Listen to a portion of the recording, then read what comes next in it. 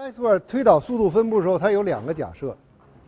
这两个假设实际上，波尔兹在波尔波尔兹曼的一个假设中就完全可以包括了。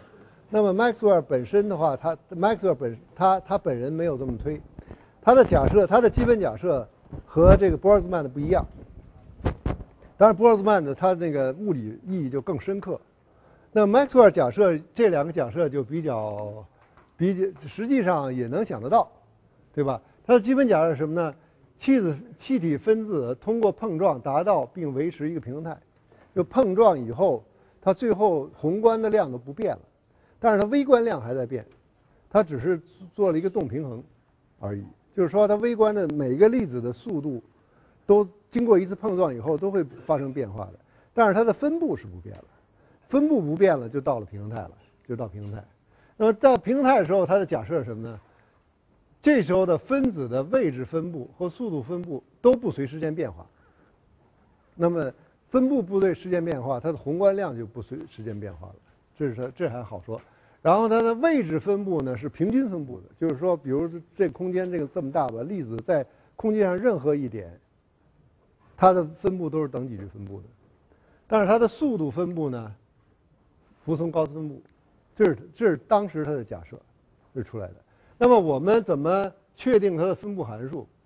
我们它，我们我们把这个假设再弱化一下，我们位置的分布还是平均分布？这这这个事件的证明要等到波尔兹曼的那个假设出来以后可以证明。那么速度分布为什么是一个高斯分布？我们可以推导。那么推导的话，就是基于两个东西，这两个东西都是比较一目了然的。那么第一个东西就是说它是各项同性的。就是说，这个速度在任何一个方向，它的几率、几率密度是一样的，不变。那么一样的话，它的这个速度分布就是 f 是 v_x、v_y、v_z 这两个随机变量的函数，对不对？那么我就可以写成这个形式。当然要注意，刚才有有同学问，这个 f 和这个 f 的形式是不一样的，这应该写成 f 撇儿，对吧？就是说，由于它的它。它各项同性的话，我就可以加一个平方，对不对？那么也就是说，你给它做一个呃速度上的繁衍是是一样的，就是说，把这个 v_x 换号以后，v_y 换号，v_z 换号以后，它的那个几率密度值不一样。这个值怎么算？就用这个，在这里面就用 f 算，这里面应该用个 f 撇算。这个这个撇和 f 是不不是一回事儿？那么，那么写的写的写的比较更科学一点的方式，就写成这个，就是 v_x 平方 v_y 平方 v_z 平方，我就写成 g，就是 g_v_x 平方 g_v_y 平方 g_v_z 平方，这个函数是是不一样的，对不对？就是就写成这个，这是方向独立的，这是一个假设。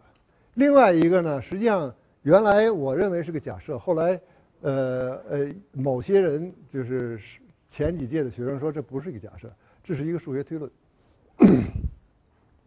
数学推论就是说分布函数的这个分布函数，它是沿径向指数指数减小的。那么这个这也就是说，呃，从数学表达上就是这种表达，它最后是一个负阿尔法，这阿尔法是个常数。那你是首先对这个东西两边求那个对数，就是自然对数。那么，ln f 就等于 ln g v_x 平方加上 ln g v_y 平方加上 ln g v_z 平方，对不对？然后我这对这个形式两边求偏导数，比如说我求呃先求这个对 v_x 平方的偏导数。那么写出来以后的话，你这个 v_x 平方你带进去以后，这是 v 在这个这是 v_y 这是 v_z 这两个都没有了，对不对？那么就是对它做偏导数，就是这个。那么同时呢，我在一方程的这个左边对 v_x 做偏导数，我可以写成什么？对 v 做偏导数，v 平方做偏导数，然后 v 平方再对 v_x 做偏导数，对不对？那么这是这是方向独立，所以是这是等于一的，对吧？那么这个等于一写写下来以后，就得了这个方程右边对对 v_x 偏导数就可以写成偏 ln f。Vx vy zz，然后偏 v 平方这边呢，这边呢就是偏 log g v_x 平方偏 v_x 平方，对不对？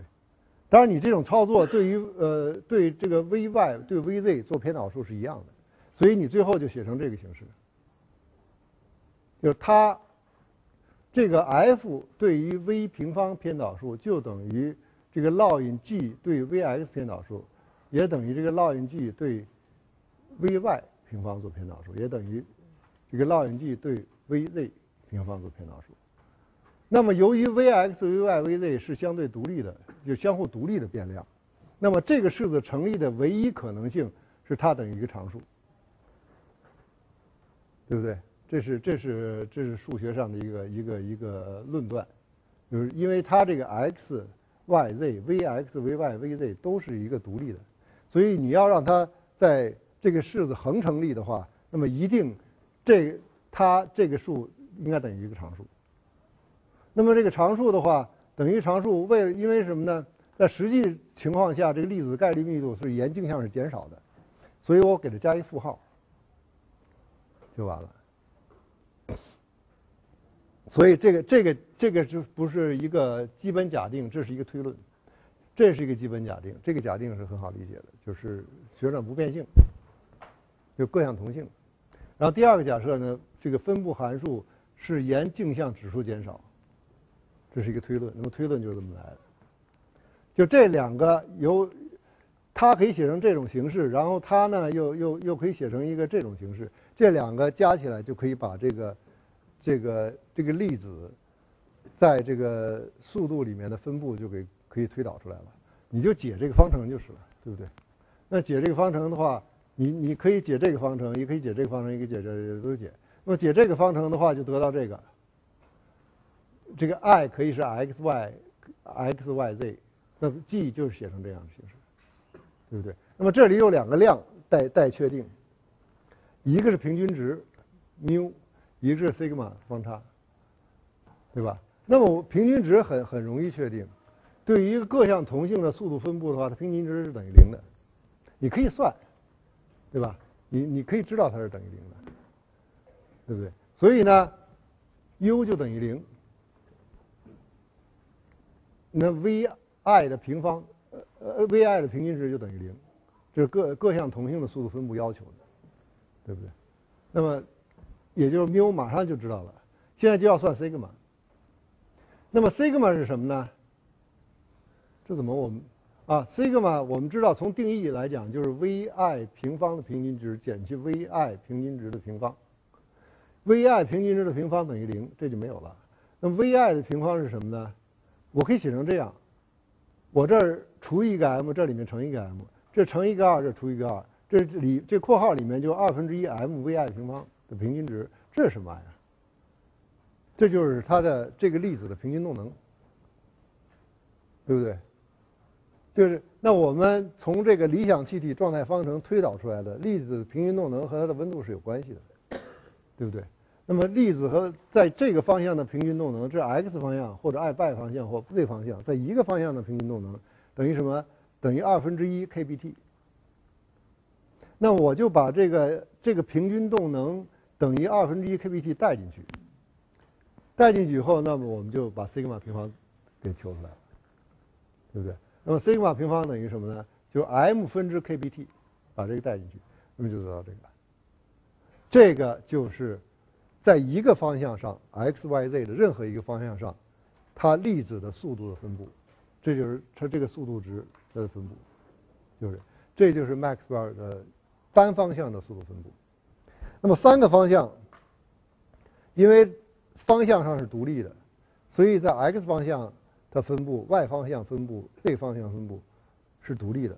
在这种情况下，你要问这个粒子它的速度，在 x 方向是 v_x 到 v_x 加 d_v_x，在 y 方向是 v_y 到 v_y 加 d_v_y，就这个小区间，就在这个壳上，z 是从 v_z 到。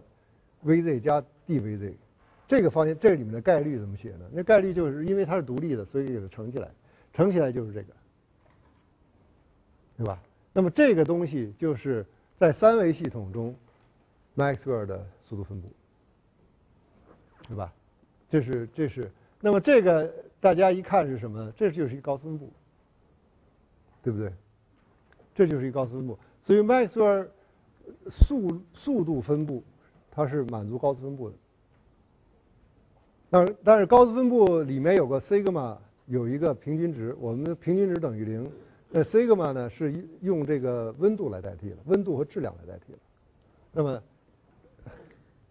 这是温度是质量，在这儿。这个这个质量这是温度，这个东西别的不用背，这个你们都要用，这个是得要得要记住的。你的推导过程 不要求你们记住，但是这个是太基本的一个公式了，这个是需要记住的。这是麦克斯韦速度分布。那速度分布有几个性质？第一个呢，就是说它的极大值的位置，那肯定是 v 等于零的位置，对不对？你从这里就看出来，因为这儿有个负号。所以它极值位置是 v 等于零，那随着 v 的增大的话，它 f 是减小的，它的它的概率密度是减小的。那么这个麦克斯韦速度分布就用 f m 大 M 来表示，是减小的，这是一个。这个很好，从从数学形式上一看就看出来了。那么数学形式还可以看出，不是一看就看明白的事情，就是说，如果你的系统的温度增加，它的分布会是怎么样？如果温度增加一倍，它会往下塌一点。就那么，在平均值左右的话，它它的它的这个几率反而会减少，因为它的积总的积分要求等于一，对不对？我说这这是一个性质，就是说，在在高速的粒子的发现高速粒子的几率会增加，那么低速粒子的几率会减少。这是一个。那么第三点呢？这 m 在肩膀上，在在这儿，对不对？那随着 m 增加，它和呃温度的效果是相反的。随着粒子质量的增加的话，它会变尖。这是一个性质，对吧？那速度分布就是实际上就是高斯分布，因为我们推导的那个 argument 呢实际上就是推导就是两点：一个是各样分各样同性，各样同性就是我可以把把它写成平方形式。第二个呢是指指数衰减，指数衰减我们刚才也也说了，这这这是唯一的可能性，对吧？你就这在这两条里面，你做一些数学的处理的话，你就会发现，你就自然而然的就得到了高斯分布。